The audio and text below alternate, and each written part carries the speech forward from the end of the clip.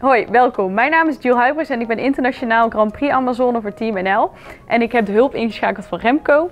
Wij gaan het vandaag hebben over hoe je het maximale haalt uit je website voor je sportvereniging. Mijn naam is Remco Tervoort. Ik ben community manager van Sportnext en ik hou me bezig met alles wat met websites te maken heeft. En we gaan inderdaad vandaag vijf tips geven om het maximale uit je website voor jouw vereniging te halen. Tip 1. Formuleer een heldere en duidelijke doelstelling. Het is natuurlijk belangrijk om ten eerste te weten wat wil je met jouw website. Als sportvereniging kan het bijvoorbeeld zijn je huidige leden informeren. Uh, het kan natuurlijk ook zijn dat je nieuwe leden wil werven.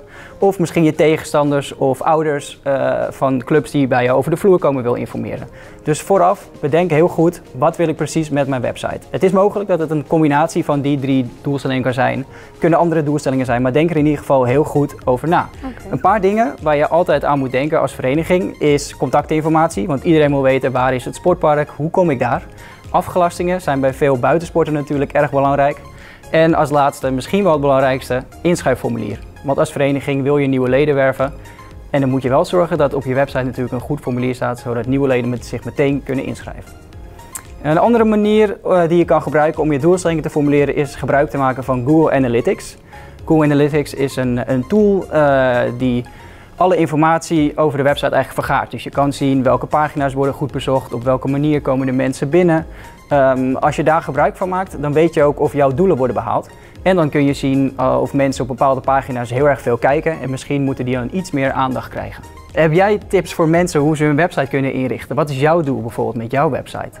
Um, ja, ik heb vooral een stukje over mezelf vertellen. Uh, dat mensen weten wat mijn verhaal is, zeg maar, als uh, Amazone. Er zit natuurlijk, mm -hmm. ben begonnen als zesjarig meisje op de manege.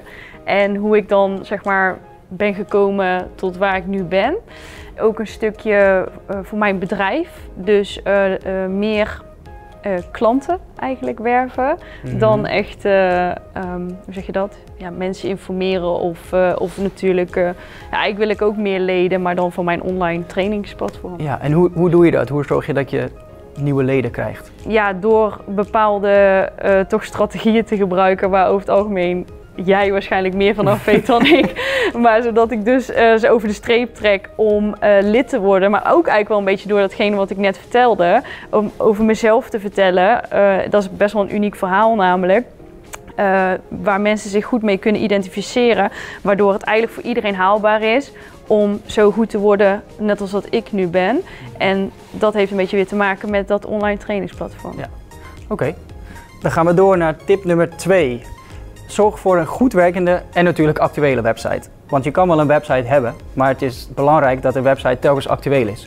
Als de mensen informatie willen zoeken, is het wel belangrijk dat ze ook de juiste informatie kunnen vinden.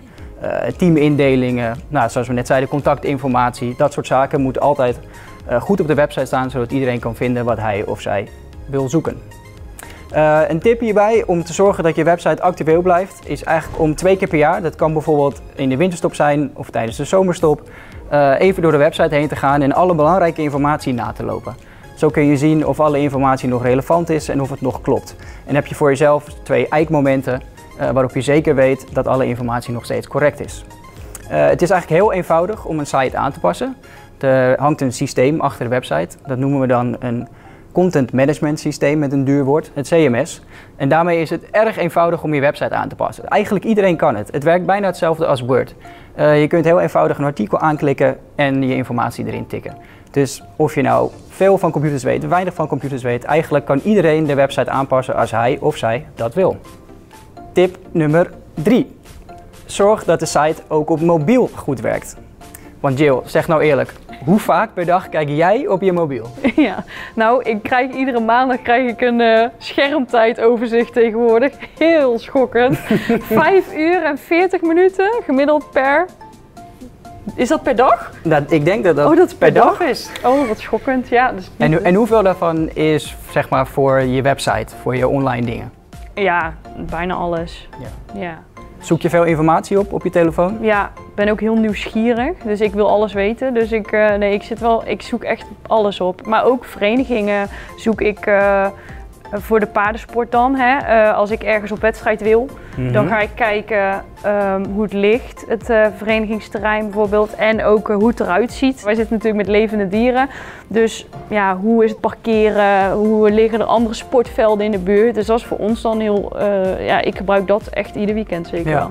Nou, Jill is dus het levende bewijs. Zorg dat je website op mobiel ook goed werkt. Want bijna iedereen heeft tegenwoordig een telefoon en heel veel mensen zoeken informatie op op hun telefoon.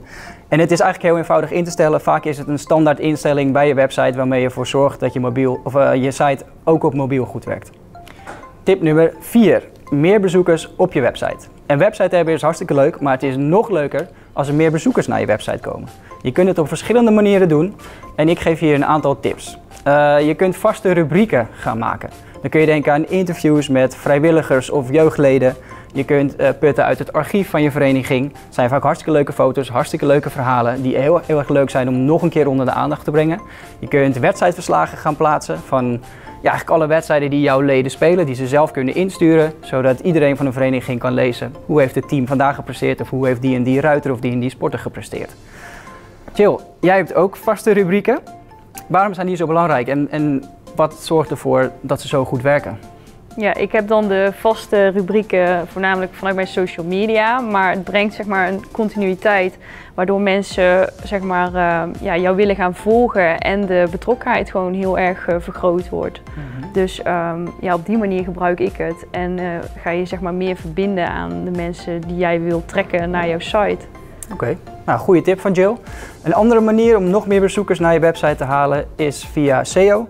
Dat is zoekmachine optimalisatie.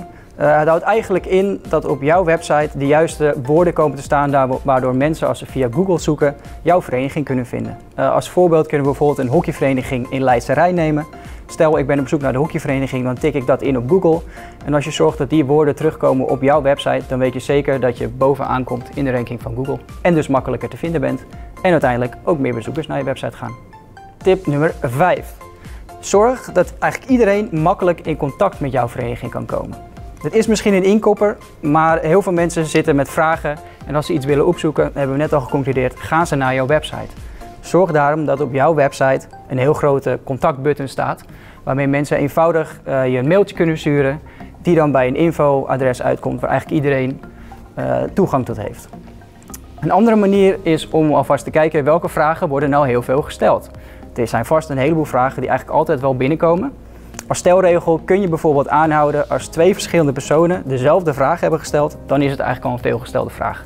Je kunt al die vragen opsommen en zelf eh, thema's van maken, zodat je in één overzicht heel eenvoudig kunt kijken. Hé, ik heb deze vraag, die is al door iemand anders gesteld blijkbaar en hier kan ik heel eenvoudig het antwoord op vinden. Eh, tot slot, en dat is misschien nog een beetje toekomstmuziek, maar het gaat er echt aankomen, chatbots. Dit zijn eigenlijk robotjes die automatisch tevoorschijn komen als je de website opent.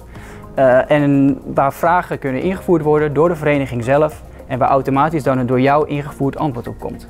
Zo wordt het nog makkelijker voor de lezer, bezoeker van jouw website om antwoord te krijgen op zijn of haar vraag. Dit waren mijn 5 tips.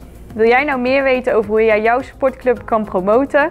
Neem dan zeker een kijkje bij de andere vier video's. Of ga naar www.nocnsf.nl slash raboclubsupport. Doei. Doei.